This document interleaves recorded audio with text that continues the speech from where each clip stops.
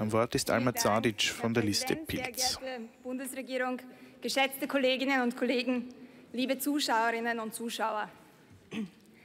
Das, was sich vor unseren Augen abspielt, ist ein Skandal. Es ist ein sicherheitspolitisches Desaster. Das gesamte Ausmaß des Skandals wird mit jeder Enthüllung schwerwiegender und wir müssen uns zu Recht Sorgen machen, dass das ein Skandal ist, sagt aber nicht nur die gesamte Opposition. Es sagt sogar der Herr Pilnacek und er ist Generalsekretär des Justizministers. Und genau deswegen sind wir heute hier. Genau deswegen haben wir heute diese Sondersitzung einberufen, um Fragen beantwortet zu bekommen.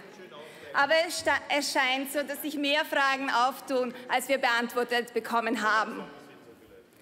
Das Bundesamt für Verfassungsschutz und Terrorismusbekämpfung ist die zentrale Sicherheitsbehörde dieses Landes. Das BVD ist für Spionageabwehr ebenso zuständig wie für die Überwachung von Rechtsextremen, von Linksradikalen oder von Verfassungsfeinden. Das ist die Behörde, die uns vor terroristischen und extremistischen Netzwerken schützen soll.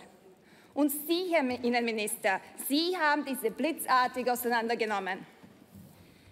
Die Menschen in Österreich haben Angst, weil sie nicht von Ihnen, Herr Innenminister, vor terroristischen Angriffen mehr geschützt werden können, weil Sie diese Menschen nicht vor rechtsextremen oder linksextremen Übergriffen schützen können.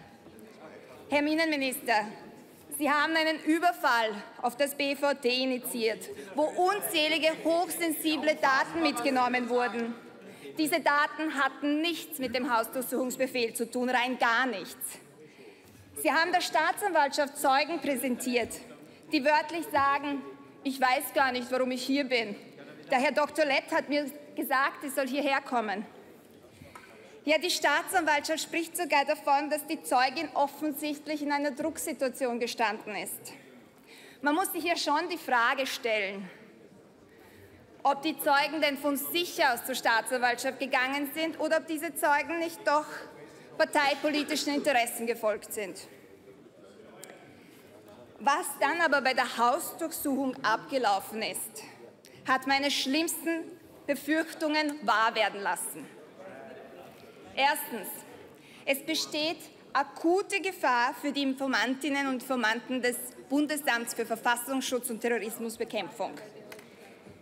Ich habe Sie schon in der letzten Sondersitzung im März gefragt, wie Sie denn gewährleisten wollen, dass die Informanten des BVD geschützt sind.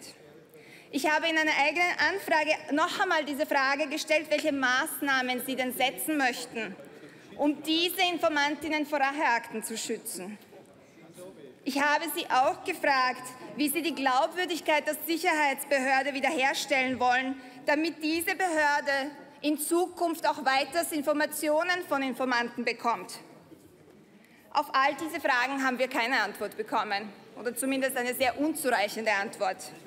Wir haben diese Fragen noch einmal heute gestellt und wieder kaum Antworten bekommen. Und ich kann Ihnen aber versichern, wir werden diese Fragen wieder stellen und wieder stellen. Wir werden sie so lange stellen, bis Sie den Schutz der Menschen garantieren können, die ihr Leben in Gefahr gebracht haben, um die Österreicherinnen und Österreicher sicherer zu machen. Zweitens, Herr Abgeordneter, meine Herkunft hat mit dem BVD nichts zu tun. Zweitens, die Sicherheit der Österreicherinnen und Österreicher ist in Gefahr. Und wir müssen in der Zeitung lesen, dass die Polizeieinheit bei der Hausdurchsuchung, wie befürchtet, weitaus mehr mitgenommen hat, als im Hausdurchsuchungsbefehl gestanden ist. Der Inhalt des Kommunikationsnetzwerks des BVD mit anderen befreundeten Sicherheitsbehörden, die gesamte Kommunikation, die mit anderen befreundeten Sicherheitsbehörden gespeichert war, wurde mitgenommen, das sogenannte Netzwerk Neptun. Dieses Netzwerk enthält unter anderem Daten des deutschen Bundesnachrichtendienstes. Das bedeutet, dass erstens die deutschen Nachrichtendienste sich zweimal überlegen werden, ob sie mit Österreich zusammenarbeiten. Denn Österreich kann ihnen offensichtlich nicht garantieren, Österreich kann den deutschen Bundesnachrichtendiensten kann nicht garantieren, dass Ihre Kommunikation geheim gehalten wird. Drittens, Herr Innenminister, das BVT ist, die, ist eine Behörde, die Ihnen unterstellt ist. Ist es da nicht Ihre Aufgabe, das BVT zu schützen? Wäre es nicht Ihre Aufgabe, zu verhindern, dass hochsensible Informationen von BVT-Mitarbeiterinnen und Mitarbeitern, persönliche Daten von verdeckten Informanten, ja sogar private Adressen in staatsanwaltschaftliche Hand gelangen und in staatsanwaltschaftlichen Akt gelangen, das wo auch durch Akteneinsicht Einsicht genommen werden kann?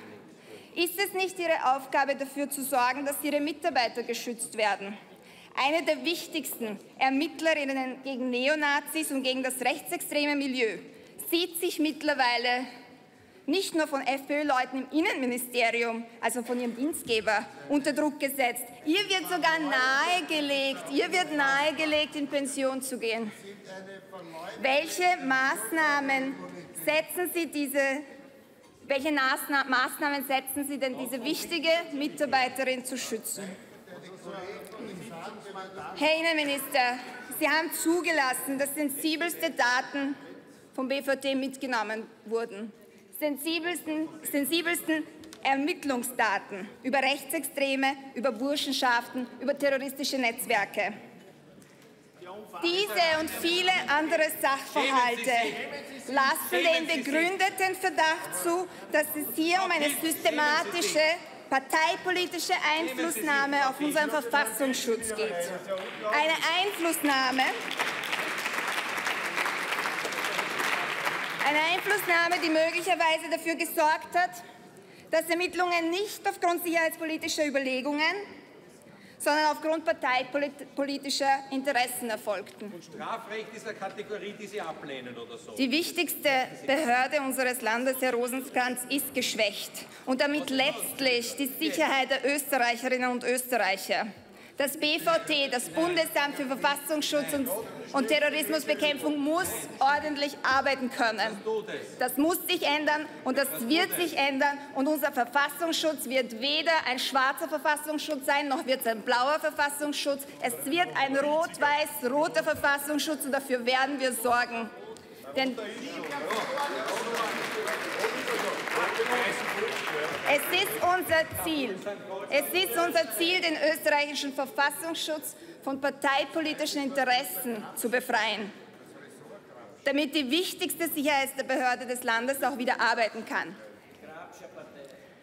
Das, das sollte für mehr Sicherheit in unserem Land sorgen als zahlreiche Überwachungsmaßnahmen, die vor kurzem beschlossen wurden.